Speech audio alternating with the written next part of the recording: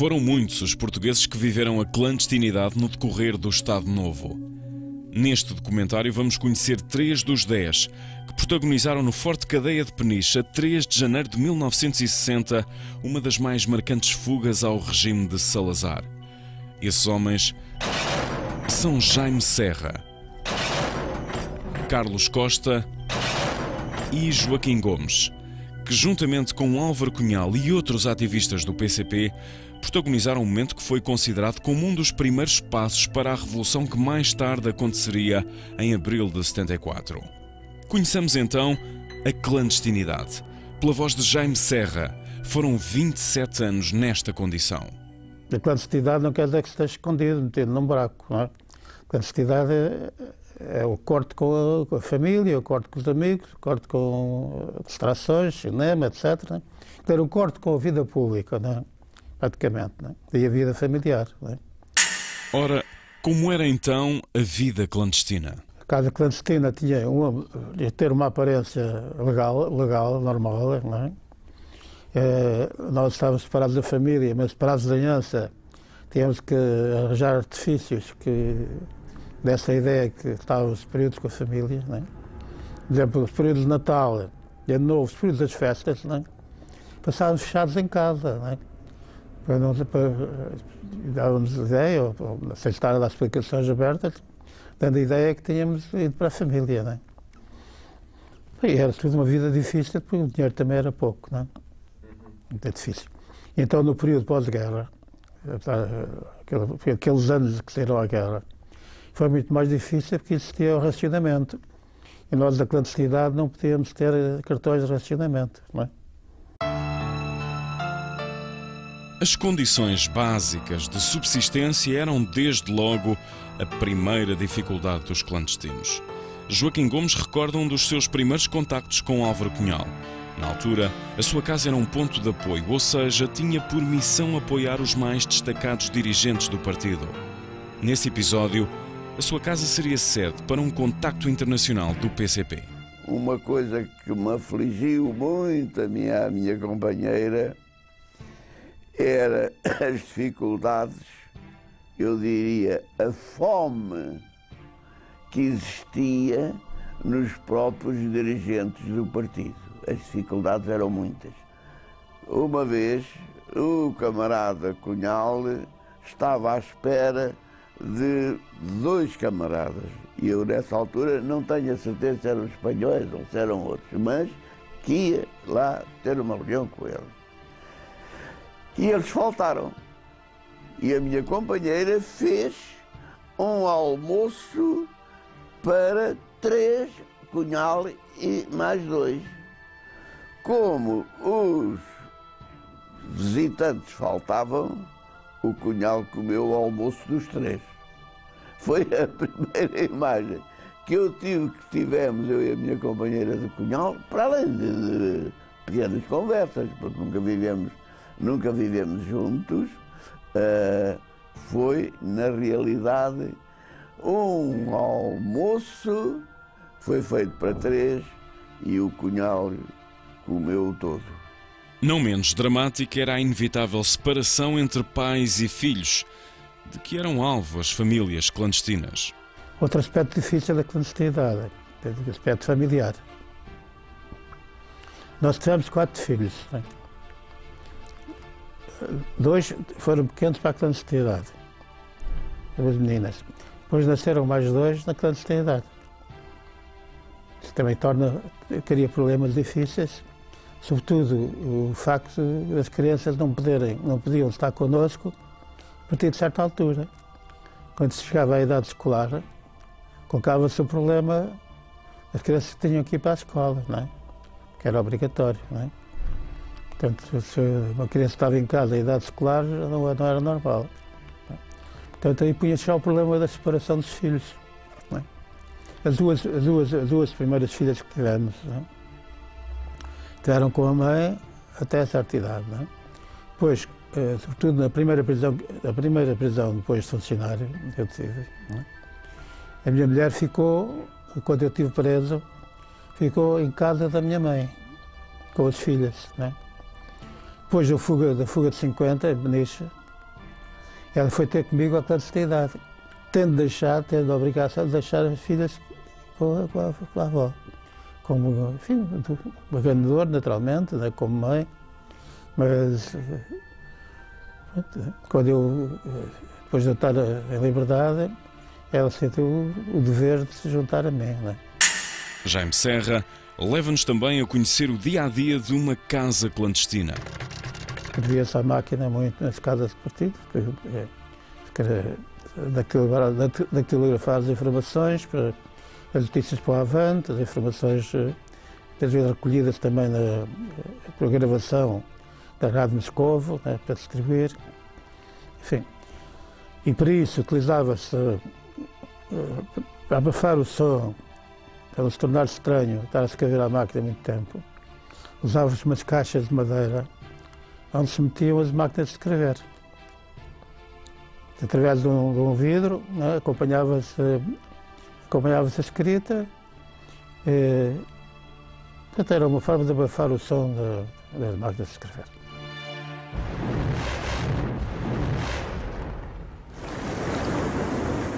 Jaime Serra, Joaquim Gomes e Carlos Costa cumpriam pena em Peniche, juntamente com outros presos políticos, entre os quais Álvaro Cunhal, quando decidem tentar a fuga de 1960. Contudo, a tarefa não se avista fácil. Jaime Serra, que já se tinha invadido anteriormente deste forte, encontrou nesta detenção medidas de segurança acrescidas. A pressão psicológica era igualmente permanente. As condições prisionais foram-se agravando de acordo com a experiência que eles iam tendo. É? Como disse, eles começaram a fazer obras, começaram a melhorar aquilo, e melhorar era para agravar as condições prisionais. Não é? Portanto, eh, construíram casarnas, casarnas cá embaixo, é?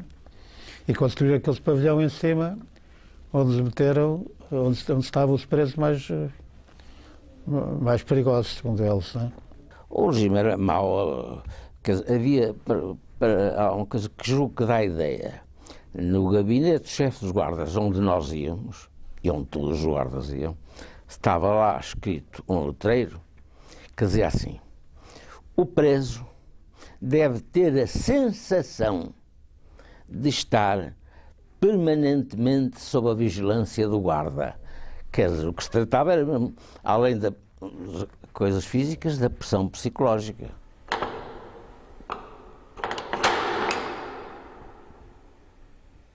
Ainda assim, os detidos conseguiam gerar os seus mecanismos de defesa. É claro que eles eram um pouco, pouco, às vezes, pouco. não tinham estado dentro. De maneira como no corredor tinham, por exemplo, as luzes acesas, sobre a noite, quando o guarda ia espreitar pelo olhinho do diabo, eh, chama-se aquele olhinho, a gente topava porque os pés dele faziam sombra. Olha lá está o gajo a espreitar-me. É? Há em Peniche um espaço que ainda hoje é a memória mais marcante dos detidos de então. O segredo era o castigo mais temido. Uh, nesse segredo o que havia também era apenas uma, uma pedra, não era já uma, uma cama de madeira, uma pedra para a gente dormir. Agora aquilo tiraram isso tudo, não sei porquê. Uh, e ouvia-se perfeitamente aquilo lá, furnas. Ouvia-se, quando o mar estava bravo, ouvia-se penedos que entravam nas furnas a chocar. E o que lá havia apenas era um balde um balde onde nós tínhamos de fazer as nossas necessidades. É? Levávamos, creio que era uma vez por dia, ou assim, a comida. Se não se estivesse, a pão e água. Porque muitas vezes o castigo era acompanhado de, de, de corte na comida. Ora, e perante tantas dificuldades, como era possível física e psicologicamente superar o cativeiro? A questão fundamental uh, que eu acho né, é a resistência moral, é, são as convicções da pessoa, não é a resistência física. É? é claro que a maior parte daqueles que, que falavam na polícia, nós considerávamos isso uma traição, eh, mesmo que se compreendesse que, enfim, eles não queriam, foram forçados. Alguns, outros, aqueles que se passavam mesmo para a polícia, nós esses não dizíamos que se portaram mal, não, é? não eram apenas expulsos, nós chamávamos rachados. A tinha dois, dois métodos, a tortura, as falas mansas, convencimento, etc. Da primeira, da, da prisão de 49 ainda me levaram, levaram as filhas, uma filha ao colo, ao pé de mim, quando estava, quando estava a estátua, né? Coitadinhas, as meninas sozinhas, não sei o quê. Eu, eu recusei-me a ceder a tais expressões. Não é? Bem, e nas prisões seguintes já nem, já nem sequer tentava nada. Não é? nem, nem sequer me identificava. Apesar de eu saber que eles sabiam quem eu era, não é? recusava-me a identificar, recusava-me a reconhecer a legalidade da polícia. Não é? Portanto, recusava-me a identificar. Impõe-se outra pergunta. Como se esperam, por exemplo, vários dias na posição de estátua? Esse limite é muito, é, é muito, digamos, imposto pelo próprio preso. Não é?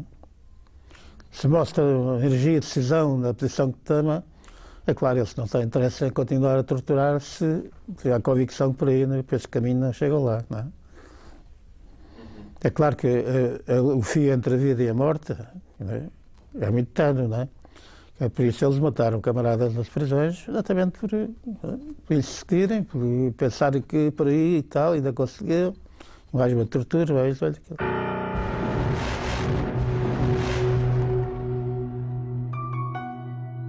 A primeira missão de qualquer clandestino, assim que era detido, passava por reconhecer no local as possibilidades de fuga. Joaquim Gomes, Jaime Serra e Álvaro Cunhal formaram o grupo de estudo para a fuga de 1960 nós os três, eh, eu, Serra e Cunhal, resolvemos, cada um de nós, separadamente, ia estudar o problema hipótese fuga.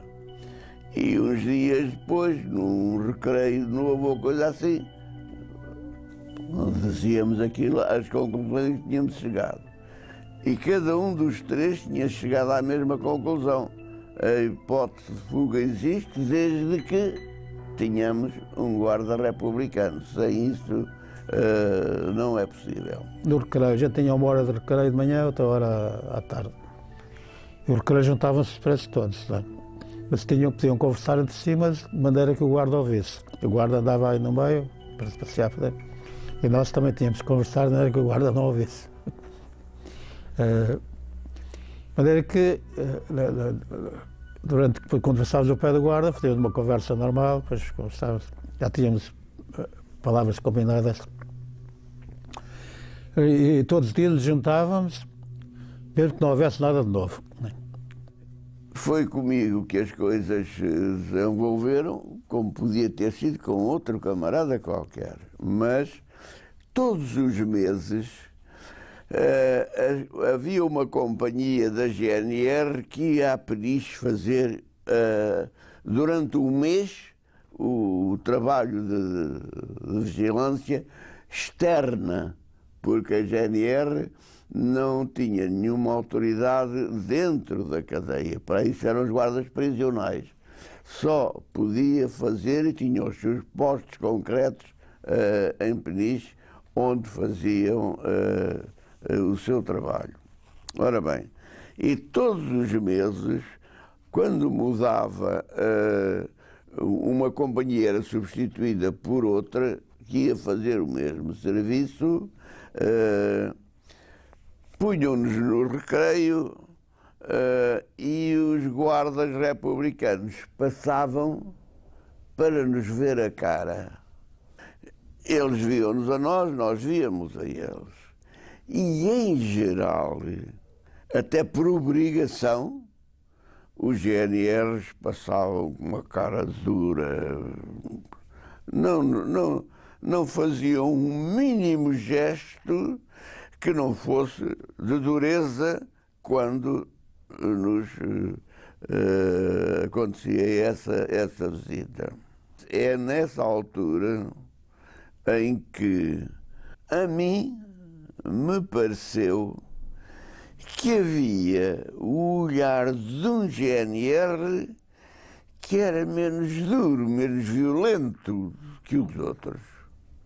José Jorge Alves era um guarda que evidenciava sinais de insatisfação com o regime. Ele era um homem antifascista, sem dúvida. Né? E uma vez passou pela cela, encostou-se mais que o que lhe era permitido às grades da cela do Joaquim Gomes. E disse: Eu podia ter morto, eu sabia que tinha morto o Salazar. Numa... Contou ele, contou numa, aqueles desfiles que eles faziam no terreno de passo. É? Ele tinha balas autênticas. Bom. Bom, isto significava que ele era contra o regime. É? E daí em diante passamos a pensar em função daquele guarda. E, portanto, sempre que o Joaquim Gomes podia eh, falar com ele, que ele se aproximava, ele é que se aproximava, porque ninguém o obrigava a aproximar, nem se podia aproximar, mas aproximava-se. E ganhou aquela convivência com o Joaquim Gomes nós estávamos completamente proibidos de dirigir a palavra a um guarda no exterior, como eles estavam proibidos de dirigir a palavra a um preso. Não podíamos fazê-lo. Mas eles passavam, exteriormente passavam. Uh, e eu propus aos camaradas que eu quando apanhasse esse homem, numa uma hora tinha que ser entre as 19 e as 21 horas, era a altura mais sossegada no coisa. É claro, nenhum dos camaradas estava convencido que isso podia resultar, nem eu próprio o estava.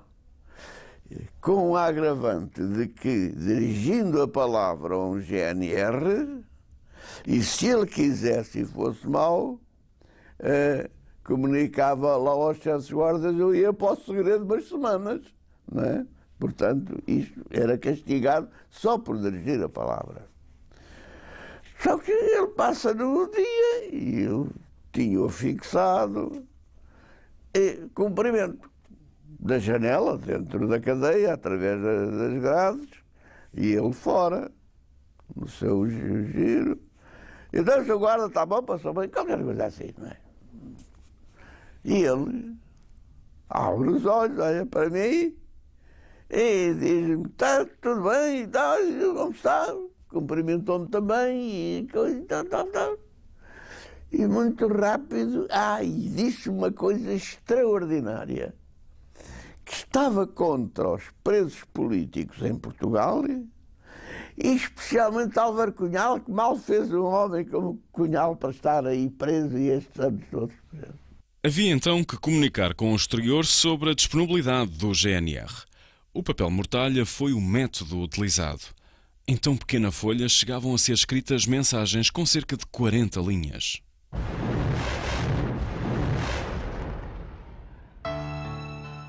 Natural de Forcalhos, José Jorge Alves residia na época em Santarém. Descontente com a sua progressão na carreira militar, foi gerando insatisfação face ao regime de Salazar. Neste contexto, o PCP propõe-lhe 120 mil escudos para apoiar a fuga de cinco presos de Peniche. Era efetivamente muito dinheiro para a época, o que também enquadra a absoluta necessidade do PCP de libertar os seus principais quadros políticos, na medida em que a grande maioria se encontrava detida. Era bastante dinheiro, sem dúvida nenhuma, não é? Isto era um pouco, digamos, ele com isto vai perder a reforma, mas eh, nós dávamos-lhe uma importância para que ele não ficasse, ele e a família ficassem assim desarmados, não é?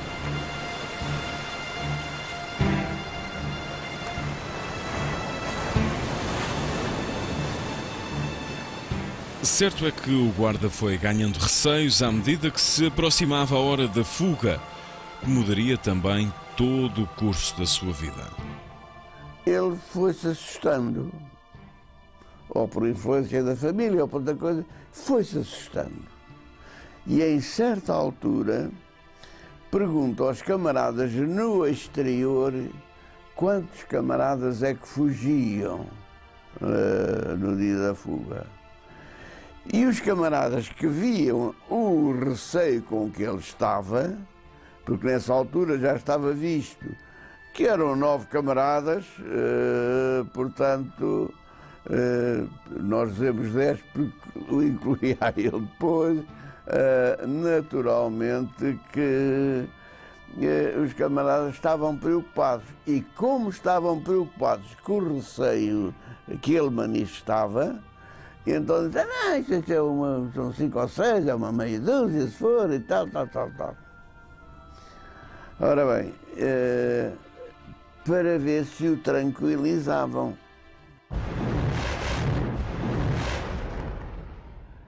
O plano de fuga determinava que esta tinha que acontecer ao fim do dia.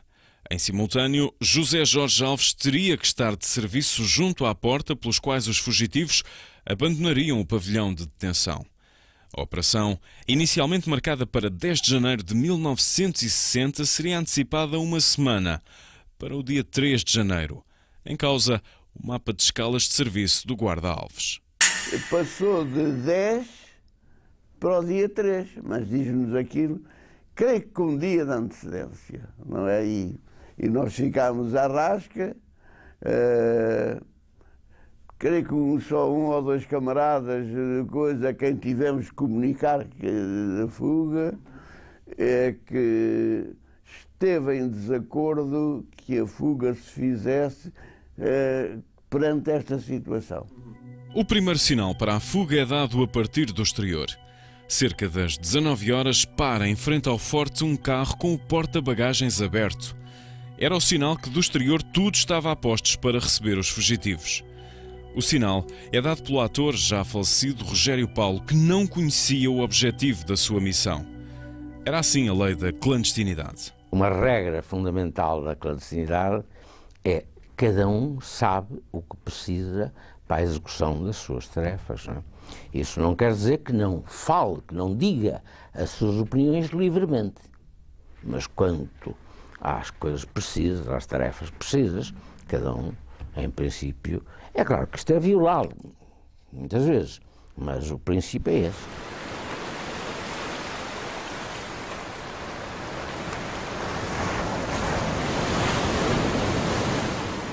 Tinha que seguir o sinal do interior por parte de José Jorge Alves. O último sinal era dado pelo próprio guarda republicano, que é indispensável nós sabermos que ele estava mesmo disposto. É? Então nós estávamos no refeitório e ele deu, como estava combinado, umas patadas.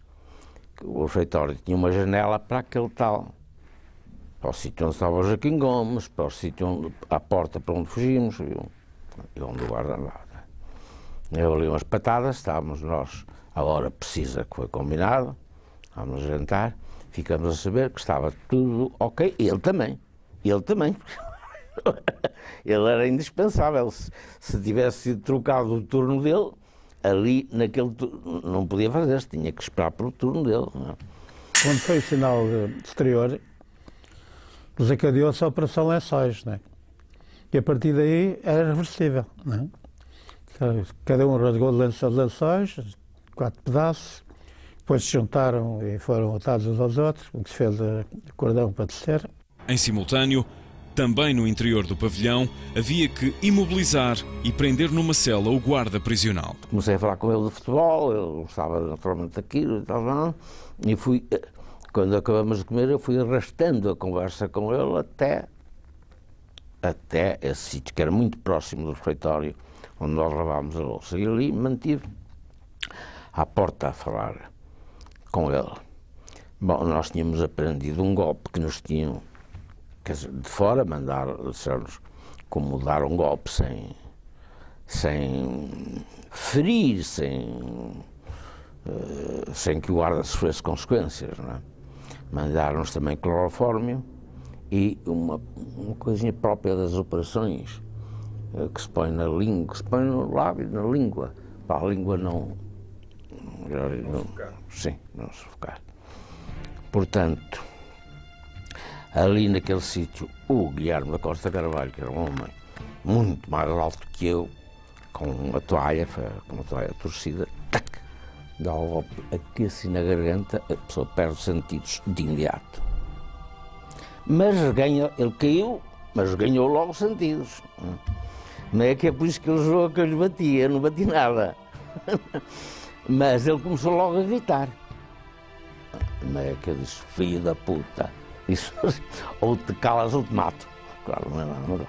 Mas ele calou-se completamente. A partir deste momento entrava em ação o guarda José Jorge Alves, que encobriria cada um dos fugitivos debaixo do seu capote. Um a um, os prisioneiros saíam da ala de alta segurança de Peniche e dirigiam-se para o exterior, sendo posteriormente obrigados a saltar as muralhas que os separavam da liberdade. Estava assente com ele que ele passaria cada um dos presos debaixo da capa do liado que era de uma grande importância para não ser visto, na realidade, depois de ele ter passado o quinto, que creio que foi o Carlos Costa, uh, ainda vinham a,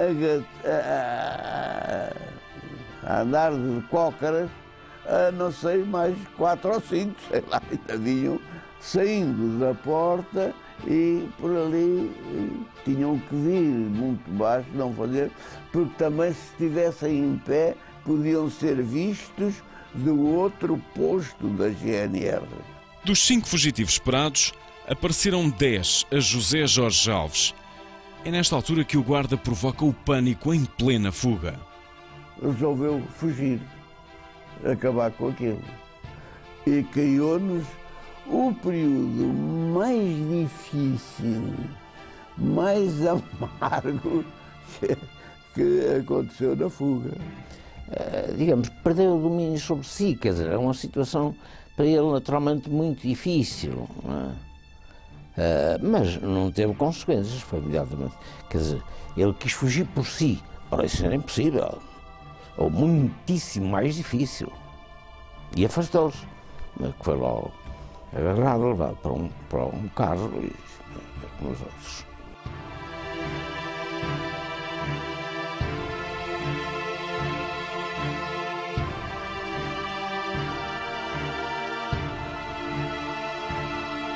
Mas os problemas não tinham terminado.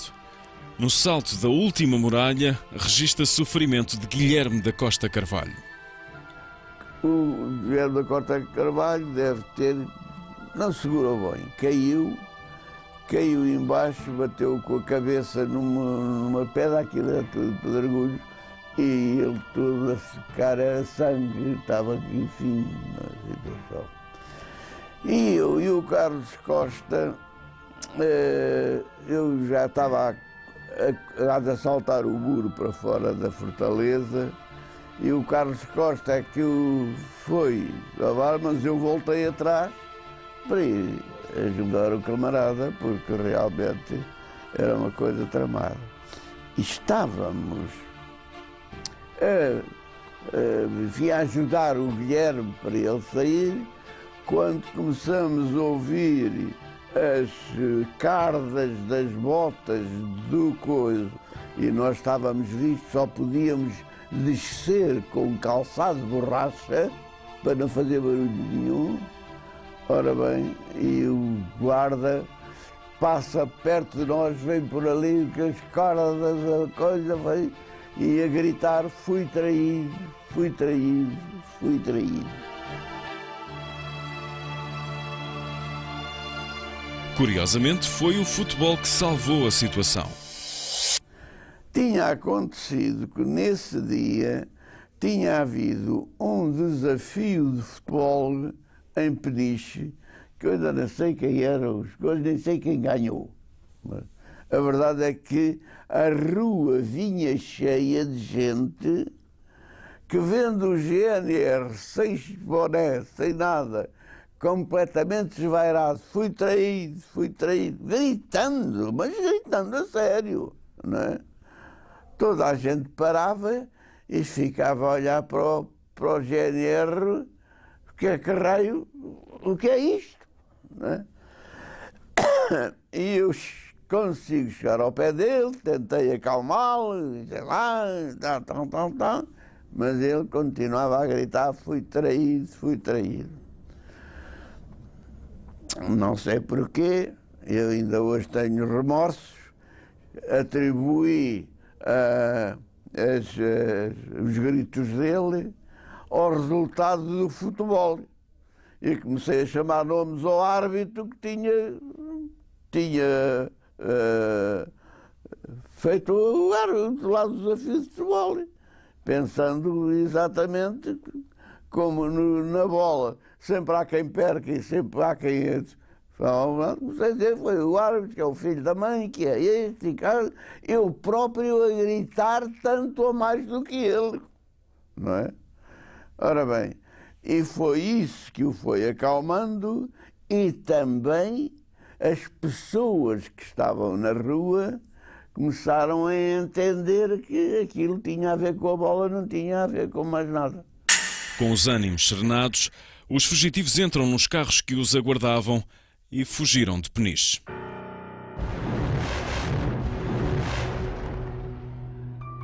A liberdade dos 10 ativistas do PCP foi também o princípio do fim de José Jorge Alves. O exílio na Roménia iria levá-lo ao suicídio em apenas dois anos. Igualmente perseguida, a sua família veria também todo o dinheiro proveniente da fuga confiscado pela PIDE. Só após o 25 de abril é que a família voltaria a estar na posse da verba acordada. São evidentes as dificuldades de adaptação de José Jorge Alves à condição de exilado. Pois, mas aquilo também era o problema de. problema de. das coisas que ele queria, especialmente álcool. Porque inicialmente ele tinha dinheiro, e, uh, dinheiro, mas. Não, o dinheiro foi-lhe apreendido pela PID, não é? Que... O, o, dinheiro foi-lhe apreendido pela PID, não é? Sim. Ele só volta a receber o dinheiro depois de 74, depois do. Nós sempre. Uh, acompanhámos uh, uh, para pagar despesas dele, sempre acompanhámos e fomos. Uh... Porquê é que o senhor acha que ele se suicidou? Estava fora da família, estava fora do país, não sei, não sou capaz de dizer. Agora, julgo que aquilo que ele fez e algumas coisas que praticou não era o homem tão seguro como inicialmente. Portanto, havia ali alguns equilíbrios. Eu posso dizer, e não é que. Eu tive uma semana com ele, como já vos disse, e praticamente era quase, não era totalmente, um garrafão de vinho de 5 litros num dia desaparecia. Uh, a família dele depois voltou a, a contatar o, o, partido? Sim, tivemos uh, contato com eles e, e havia uh, pessoas de família, não, não, não, é que tenham entrado no partido ou coisa assim, mas que concordavam com a forma como nós tínhamos cumprido tudo o que tínhamos assento com ele tínhamos de facto cumprido de modo a que uh, não pudesse ficar uh, pena. Agora, ele é que realmente. Pronto, esse problema do, do coisa, do, do, da fuga e, da, e do coisa do, do fui traído, uh, já era uma coisa que, que na verdade mostra que alguma coisa ali não. O senhor sente que o partido fez tudo o que podia ter feito por ele? Nós podíamos ter feito com ele está de acordo com o que tínhamos combinado com ele. E o que tínhamos combinado com ele era defendê-lo e, e, portanto, e até já estava visto que ele tinha que ir para o estrangeiro, não podia cá ficar, não é? Uh, e tudo isso cumprimos uh, totalmente aquilo que tinha, que tinha, os compromissos que tínhamos com ele, uh, cumprimos inteiramente. Segundo os seus dirigentes, o PCP fez tudo o que podia por José Jorge Alves. Eu, eu gosto de falar pela filha de agora, recentemente. Agora, houve um jornal que pediu uma entrevista à filha que está em, em Paris. Ah, e ela disse que o pai se degradou, se tornou alcoólico. Ah, e, portanto, e depois suicidou, coisa assim. Não é? Portanto, o exílio mas... dele para a Roménia uh, não. Foi para ofender. Exato, mas o, o, senhor, não, o senhor não acha que isso tenha nada a ver com, com o facto dele depois suicidar-se e com. Não, uh, não tem. E que, e que também não tem a ver com não, o facto de ele se tornar mais alcoólico ainda. Foram-lhe dadas todas as condições na Roménia, não é? Ele trabalhou numa fábrica como encarregado de uma secção, eh, vivia como qualquer romeno, uh, portanto, não, quer dizer, o partido cumpriu rigorosamente todas as condições com ele, procurou dar-lhe todo o apoio uh, psicológico, tudo. Agora, sabe que o alcoolismo é uma coisa terrível terrível e que perturba ou que pode perturbar profundamente as pessoas. E libertar-se disso não é fácil. Não é fácil. Uh, de maneira que. E sempre esteve definido que ele iria fugir para a Roménia. Isso estava logo determinado. Sim, ele tinha, os planos ele, iniciais. ele tinha de ir para um lado onde pusessem por a mão. Para a Roménia, ou para a RDA, ou para a União Soviética, para qualquer sítio onde a polícia portuguesa não chegasse. Não é? porque se fosse para Paris ou coisa assim, podia chegar. Embora, por exemplo, disse que o Álvares esteve em Moscou. O Álvares esteve muito mais tempo em Paris do que esteve em Moscou. Mas estava em Paris clandestinamente, mas o Álvares tinha uma experiência de clandestinidade.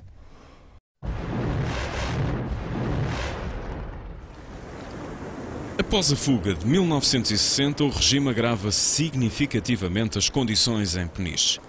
Manuel Pedro, outro preso político, estava detido na altura e recorda como era a vida dentro dos pavilhões. Se vocês olharem para aquele pavilhão de onde foi a fuga, eu falei-vos da situação cá embaixo nessa sala, não é? Mas lá em cima, de onde foi a fuga, se vocês verificarem, aquele pavilhão é feito com as celas, as janelas das celas estão viradas a norte que é uma coisa horrível. Quem passar ali o inverno é horrível. O frio, pronto. Imagina neste tempo com o Nordeste ali a bater, ou a Nortada. E a Sul tem o Sol, mas tem paredes, eh, tem, tem, tem vidros, tem tijolos em vidro, para o Sol não entrar. Portanto, de Norte tem o frio sempre, não tem Sol. De Sul, eh, onde podiam ter o Sol, não o tem porque ele não entra lá. Se já eram difíceis, as condições de vida dos detidos pioraram claramente após 1960. As coisas caminham no sentido de levantamentos de rancho, deles cortarem eh, eh alimentação aos presos, eh, começam a cortar eh, visitas, começam a, a, cortar correspondência, começam a cortar a entrada do jornal, portanto, e, e vai-se, digamos, numa onda sempre progressiva, eh, porque eles não cedem, e porque os presos uh, têm necessidade de se ver livre daquela situação, porque uh, o, o, parlatório uh, era objetivamente uma fonte de castigos, uma fonte de, de, de, de segredo do mais variado tipo. Não é? Dizer-se a uma mulher que, que é estrábica, a senhora não pode estar a olhar para ali, e a senhora dizia, mas o senhor não vê que eu sou estrábico? Pois é, estrábico, mas não pode estar a olhar para ali. Dizer-se a uma criança, o senhor aqui não pode comer porque ele está a chupar um, um, um, um, um roçado. A tortura era recorrente no Estado Novo. Manuel Pedro recorda algumas das práticas de que eram alvos presos políticos. A água despejada pela boca, uh, com os joelhos metidos em, em, em ripas de três faces, portanto, os joelhos estão a prenderem para não se poder levantar. Uh, uh, tudo isso, as mulheres uh, no período e a terem de fazer as necessidades na sala e a terem de limpar as necessidades com as próprias roupas. Então, isso não, não, não, era, não foi de cá. Estar na tortura, 18 dias e 18 noites, em que o Gervásio Dizia ele ao Manel de nunca mais a tortura do sono. Espancamento, ele tinha sido espancado barbaramente numa outra prisão. Ele dizia: Epá, chegou aos 18 dias e ele dizia eu só queria morrer. Ele não queria falar, nem tinha esquemas, só queria morrer. E, e caiu, inconsciente, foi assim que eles o tiraram de lá. Os espancamentos tornam-se habituais. Nesse, nesse período em que estive lá, em 64, estava em curso, portanto, uma luta muito grande, que vinha desde 63, e que culminou eh, com violentos espancamentos no primeiro piso do pavilhão das celas. Preso a preso, cela a cela, portanto, eh, quatro, cinco guardas a espancarem eh, e a GNR no corredor com pistolas metralhadoras apontadas. Manuel Pedro recorda igualmente o momento em que outro detido, Américo de Souza, é remetido ao segredo. Eh, e o Américo de Souza estava muito doente, estava a perder sangue pelo intestino eh, e esteve 15 dias no segredo eh, a pão e água e a dar-lhe pão e água dia sim, dia não. Eu soube posteriormente, já não estava com ele, porque eles vinham do segredo nessa fase, durante dois meses não houve contactos entre os presos, a não ser pela parede, pelas formas mais. Mas deixou de haver, como vos disse, foram retiradas todas as chamadas regalias que o preso tinha. Portanto, não cheguei a falar com ele sobre depois, eh, por uh, uh, companheiros uh, que, estavam com, que estiveram com ele depois dele regressar. Eu já não estive. Quando houve contactos, já há uma vida normal na cadeia. Mas é um dos casos de grande violência, não é? Para se ver o nível sem se falar do, não se fala do segredo de Caxias, que isso é uma coisa que nem vale a pena. a malta eh, fumava continuamente, porque aquilo era num subsolo, onde se ouviam as ratas eh, na, na, na, na, retrete, não havia luz, e a umidade era tanta que a malta que ia para lá, que já sabia que era assim, levava um cigarro aceso, acendia um cigarro, e, e acendia cigarro após cigarro, porque os fósforos, passado uma hora, já não acendiam. É? E quando saíam de lá, só ia lá a guarda eh, para levar o, o, pequeno almoço, o almoço, o jantar, e quando saíam de lá vinham agarrados à guarda porque já não viam. Vinham de uma escuridão de 8, 10, 15 dias ou mais e entravam uh, a enfrentar a luz do dia e não aguentavam, e era o guarda que os acompanhava. Igualmente permanente era a tortura psicológica. Tínhamos aquilo que se chamava uma sala de convívio Portanto, eram quatro mesas, nós éramos 14 presos, 14 celas, e, e o guarda uh, uh, dizia para uma das mesas: faz favor, falem mais alto que eu não ouço o que estão a dizer. E a seguir era capaz de dizer noutra, a outra mesa: faz favor de falarem mais baixo porque estão a falar muito alto.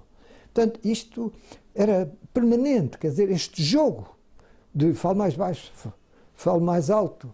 Eh, no parlatório era assim, vocês estão a ver o que é um parlatório eh, em que há crianças, há, há os familiares, eh, e nós estamos ali ao lado uns dos outros. Temos que falar para que o parceiro ao lado não ouça. E temos o guarda com um pé no banco encostado a nós.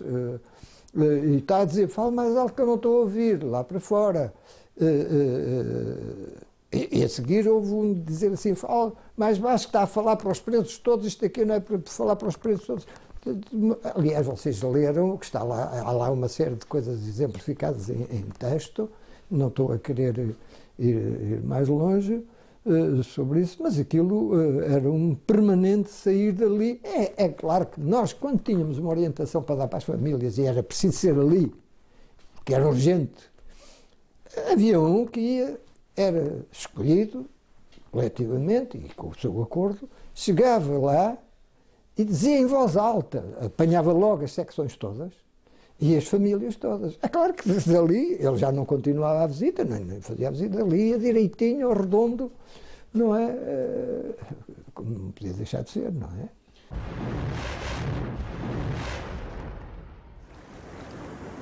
Propomos-lhe agora uma visita guiada pelo Forte de Peniche, na atualidade? A Fortaleza de Peniche uh, teve o início da sua construção uh, no século XVI, em 1558, sendo que o grosso das estruturas que nós podemos ver são estruturas construídas após 1640, após a restauração da independência nacional. A fortaleza de Peniche encabeçava um conjunto de fortificações que defendiam toda uma linha de costa que ia desde a Nazaré até Torres Vedras, sendo que nesta fortificação encontrava-se em permanência um regimento de artilharia e um regimento de infantaria. Eh, mais tarde designado de Regimento número 13 de Infantaria, que ainda hoje existe. O baluarte redondo foi a primeira estrutura defensiva construída na Península de Peniche, uh, datando de meados do século XVI. Trata-se de uma estrutura que tinha como objetivo a defesa da vila uh, e do, do porto pescatório, bastante importante à época. Durante o período da prisão política, este espaço foi utilizado como segredo, como espaço de reclusão, onde os presos eram colocados como uh, castigo. Daqui uh, fugiu em 1954 António Dias Lourenço, numa das fugas mais célebres que tiveram lugar neste espaço.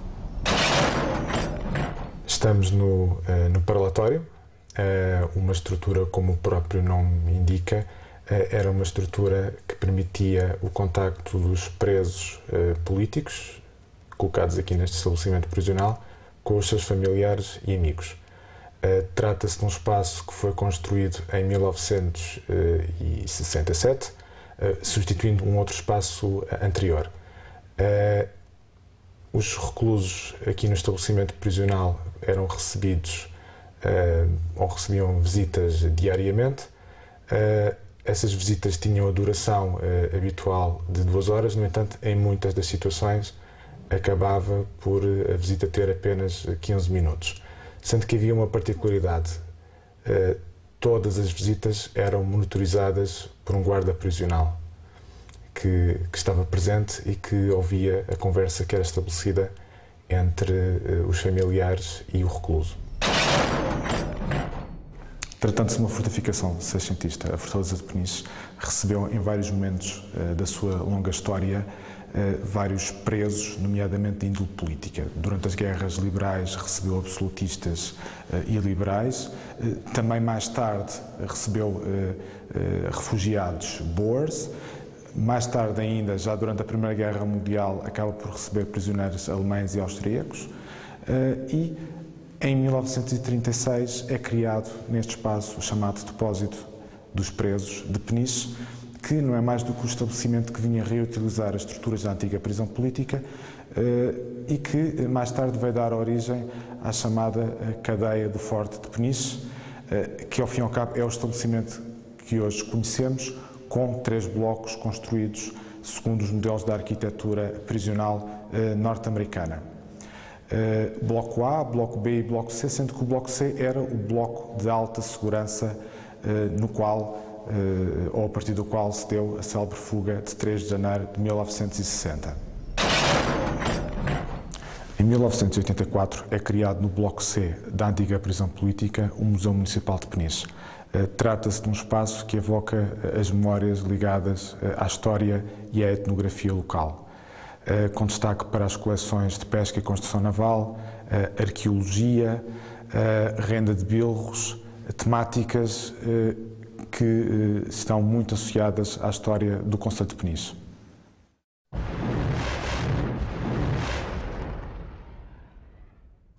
David Pereira, da União dos Resistentes Antifascistas Portugueses, revela os objetivos da associação no âmbito da preservação da memória da resistência é necessário uh, contribuir para que, uh, de acordo com, com as novas tendências que na museologia existem para dar essa preservação, uh, também a uns, aos futuros visitantes que se dirijam àquele espaço poder transmitir tudo aquilo que foi a vida prisional na, naquele espaço, que muitos dos depoimentos dos resistentes antifascistas têm documentado como de uma grande violência e de uma grande brutalidade que era pensada e que era, e que era trabalhada pelo próprio regime fascista, com, com técnicas que impunham, tentavam impor o sofrimento e a, e a humilhação e a quebra da própria resistência antifascista, e portanto nós consideramos que esse aspecto é fundamental na, na edificação de um futuro Museu da Resistência e da luta pela liberdade. A tortura era recorrente na ditadura de Salazar. Todavia, o segredo de Peniche assumia contornos ainda mais dramáticos para os presos políticos.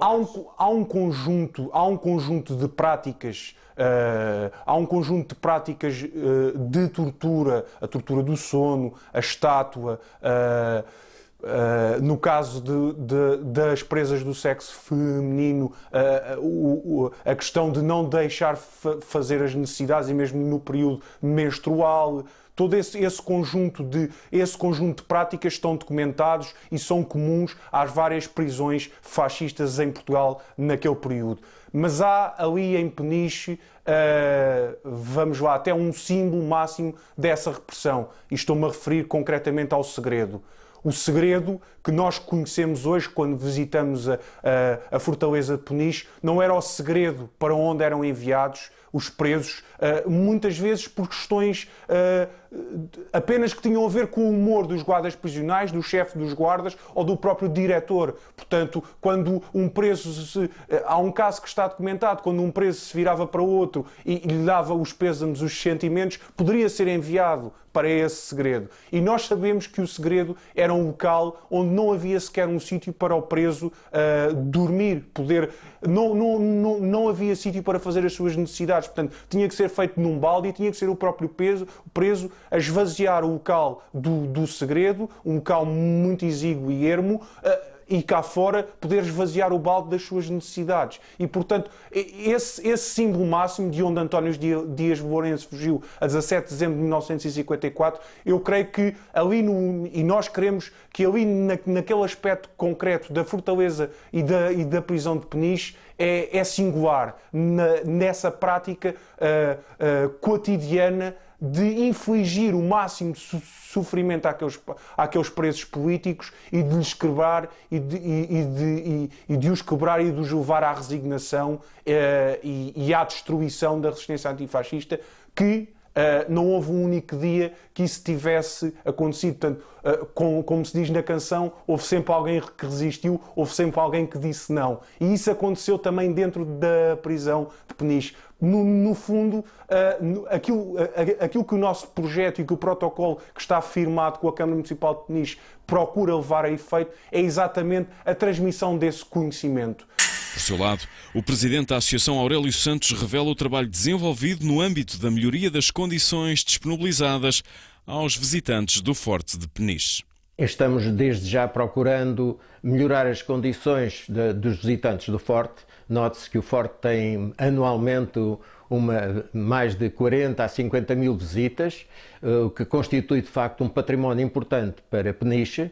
E é também nesse aspecto que a Câmara Municipal procura valorizar o Forte e procurando eh, enriquecer e documentar desde já antes mesmo do desenvolvimento do Museu da Resistência, mais amplamente, eh, tornar mais interessante a visita desses eh, militantes e desses eh, visitantes que anualmente visitam o Forte.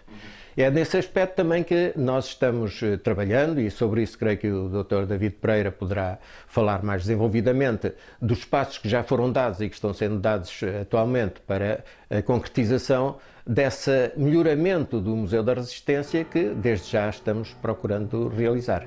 A fechar, António José Correia, presidente da Câmara Municipal de Peniche, revela igualmente o compromisso da autarquia com a preservação da memória. Peniche tem também essa outra responsabilidade, ou seja, se tem aqui um património que é um património que é um património nacional, eh, a ação que deve desenvolver, ela deve ser também de modo a que essa preservação da memória seja partilhada com, com todos os escalões etários e particularmente com aqueles que são mais novos, porque nem sempre os manuais uh, retratam da forma como deveriam retratar daquilo que foi este, este, este período. Daí que uh, seja dada uma particular atenção também à, aqui aos espaços, aos conteúdos uh, e posso dizer que dos milhares de pessoas que vêm aqui, muitos deles são jovens, são crianças e que são trazidos aqui também pelas escolas, eh, na prática pelos educadores que eh, valorizam essa componente da nossa história.